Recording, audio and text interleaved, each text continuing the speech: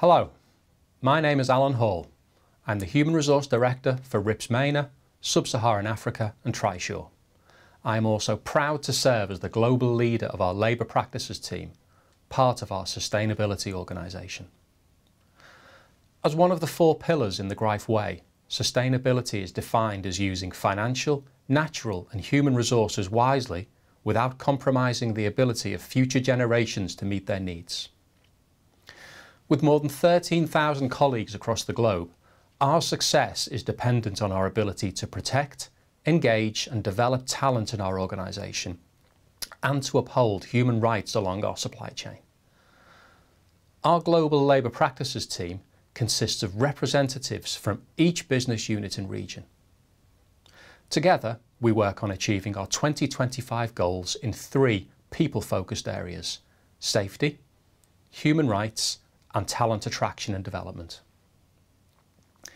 As you all know, the safety and health of our colleagues is our first priority. To ensure we continue to work towards our aspiration of zero accidents, we will reduce our global medical case rate by 10% annually to achieve 100% safety, medical case rate zero, in the long term. We'll have a collaborative environmental health and safety committee consisting of both management and workers in every manufacturing facility. Our commitment to upholding international human rights and fair labour practice standards is inseparable from our commitment to the health and safety of our colleagues. To ensure respecting and protecting human rights is the foundation for us to have a healthy, sustainable and equitable business, we will ensure that 100% of our operations are subject to internal human rights reviews measured on a rolling cycle. We'll ensure 100% of our colleagues are trained in human rights policies and procedures. And we will increase the proportion of women in management positions by 25% using fiscal year 2017 as a baseline. We must also have an environment that supports our colleagues, offers continuous learning opportunities and helps them develop their skills.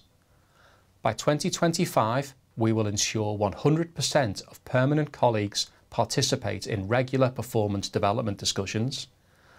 We will increase average hours of annual training per colleague by 50% using fiscal year 2017 as a baseline. And we will ensure 100% of colleagues are covered by parental leave.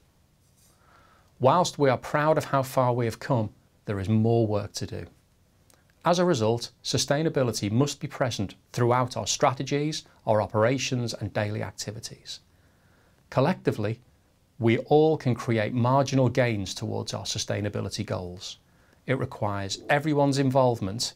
Share your ideas with me or our regional team members on how we can create an open work environment where people are engaged and fulfilled.